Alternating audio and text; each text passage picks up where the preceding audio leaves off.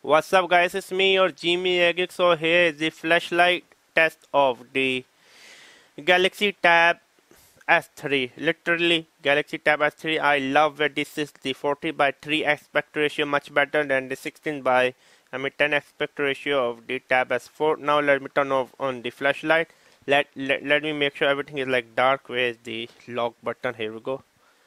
Okay but I want to make it like dark. You can still see my hand right? It's not fair. Now it's now it's something dark right? Now let me show you how good is the brightness. Can you see? Okay I mean it's good enough. To be honest with you it's good, good enough you see without. So yeah this is the flashlight. Again you need to be you need to be the judge how good it is. To me seems quite good. I mean as you can see seems quite good. Yeah I mean the flashlight is quite good. It was me Jimmy a Geek subscribe and bye